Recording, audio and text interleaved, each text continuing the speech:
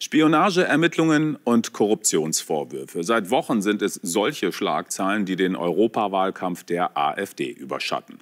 Heute wurde die Immunität von AfD-Politiker Büstron aufgehoben. Die Generalstaatsanwaltschaft München leitete Ermittlungen wegen des Anfangsverdachtes der Bestechlichkeit ein und durchsuchte mehrere Objekte.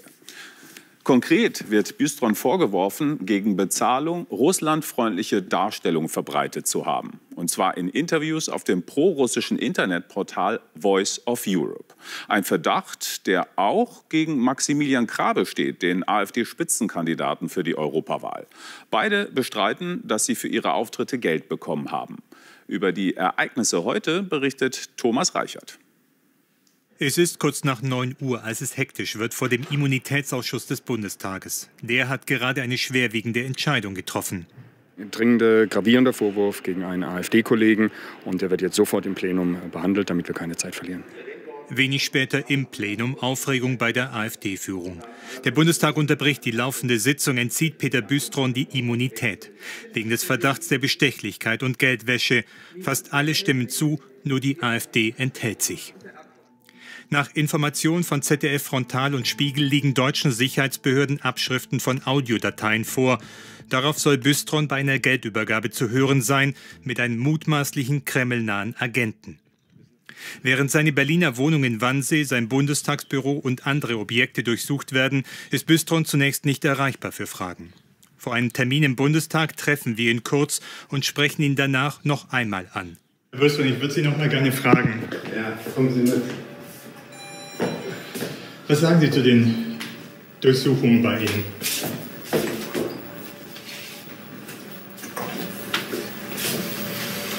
Haben Sie einen Kommentar dazu? Ja, habe ich, aber ja. nicht fürs CDF. Ich gebe das den freien Medien, den alternativen Medien. Okay, Sie verbreiten Verschwörungstheorien. Haben Sie Geld aus, Russland, genau. Sie Geld aus russischen Quellen Sie verbreiten Verschwörungstheorien. Das ist keine Antwort auf meine Frage. Doch, haben Sie Geld aus russischen Quellen Das ist eine Antwort. Ist Was haben Sie dafür geleistet? Die AfD kritisiert, die Ermittlungen würden den Europawahlkampf beeinflussen. Büstron steht auf Platz zwei der AfD-Liste. Er selbst teilt später mit, die Vorwürfe seien, Zitat, an den Haaren herbeigezogen. Wir gehen nach Berlin zu Nicole Diekmann. Nicole, wie schätzt du die neuen Entwicklungen für die AfD und Büstron ein? Büstron, wir haben das ja gerade im Beitrag gesehen, steht seit Wochen im Zentrum der Affäre um die prorussische Propagandaplattform Voice of Europe. Er streitet zwar ab, Geld angenommen zu haben, aber natürlich ist der Druck mit dem heutigen Tag auf ihn nochmal enorm gestiegen und damit auch auf die gesamte AfD. Büstron ist die Nummer zwei der Europawahlliste und auch die Nummer eins. Der Spitzenkandidat Maximilian Krah taumelt von Affäre zu Affäre. Bei ihm geht es auch um große vielleicht zu große Nähe zu Russland, aber auch um China. Ist die AfD käuflich für Regime? Diese Frage erfährt regelmäßig neue Nahrung und macht die Partei nervös mit Blick auf Umfragen und die anstehende Europawahl. Zumal, wie wir soeben erfahren haben, vorhin auch die Immunität eines weiteren AfD-Abgeordneten aufgehoben wurde. Da geht es um Hannes Gnauk. Der ist der Vorsitzende der Jungen Alternative und ehemaliger Zeitsoldat. Und in seinem Fall lautet der Verdacht auf Verstöße gegen das Soldatengesetz. Danke für diese Information nach Berlin, Nicole Diekmann.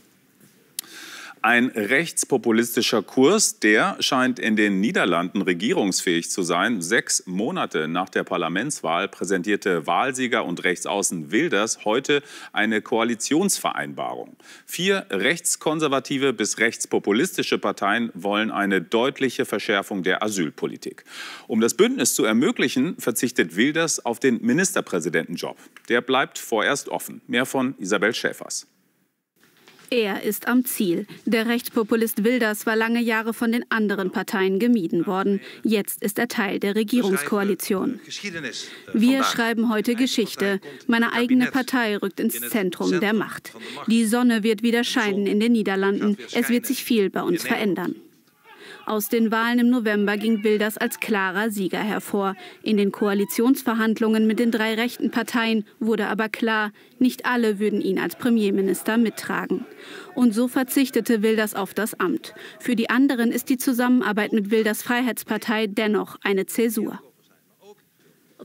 Aber die Wähler haben sich klar für einen Mitte-Rechts-Kurs ausgesprochen. Und wir nehmen diese Verantwortung für ein sicheres, stabiles und starkes Niederlande ernst. Eine radikal verschärfte Asylpolitik, mehr Atomkraftwerke, die Anhebung des Tempolimits. Das sind einige der Vorhaben. In den Niederlanden schauen die meisten gelassen auf die neue Regierung. Es gibt keinen Aufschrei, keine Proteste. Es überwiegt der Pragmatismus. Wir haben drei Parteien, die nie wirklich regiert haben. Das kann man sagen, das ist problematisch und das ist vielleicht ein Abenteuer, gefährliches Abenteuer. Man kann auch sagen, das ist Demokratie. Dass jetzt andere Leute wie die etablierten Parteien jetzt eine Chance haben, um etwas zu gestalten. Wer neuer Regierungschef wird, steht noch nicht fest. Aber Gerd Wilders wird als Vorsitzender der stärksten Fraktion im Parlament vermutlich viel Einfluss auf die Politik der neuen Regierung haben. Heute war der Tag der Wahrheit bei der Frage, wie viel finanziellen Spielraum die Ampelregierung für ihren Haushalt 2025 hat, über den ja heftig gestritten wird. Jetzt steht fest, Bund, Länder und Kommunen müssen mit deutlich weniger Steuereinnahmen klarkommen. Laut aktueller Steuerschätzung fließen 2025 21,9 Milliarden Euro weniger in die Kassen als noch im Herbst berechnet. Insgesamt erwarten die Schätzer Einnahmen von rund 995,2 Milliarden Euro. Für Finanzminister Lindner ist klar, neue Spielräume gibt es keine. Andreas Huppert. Man hatte es schon geahnt. Gute Nachrichten in Sachen Steuern hat der Finanzminister nicht im Gepäck. Der Arbeitskreis Steuerschätzung hat gerechnet und analysiert. Unterm Strich kommt raus, die Steuereinnahmen für Bund, Länder und Kommunen werden sinken. Das Ergebnis der Steuerschätzung zerstört also die Illusion all derjenigen, die vielleicht vermutet haben, dass das Geld einfach so vom Himmel fällt und uns davon befreit, fiskalische Notwendigkeiten zu erkennen. Fast 22 Milliarden Euro weniger in der Kasse. Eine Nachricht zu unpassender Zeit streitet doch die Ampelregierung seit Wochen über den Haushalt. Lindner will, dass alle Ministerien sparen, doch der Verteidigungsminister zum Beispiel will nicht weniger, sondern mehr Geld für die Bundeswehr.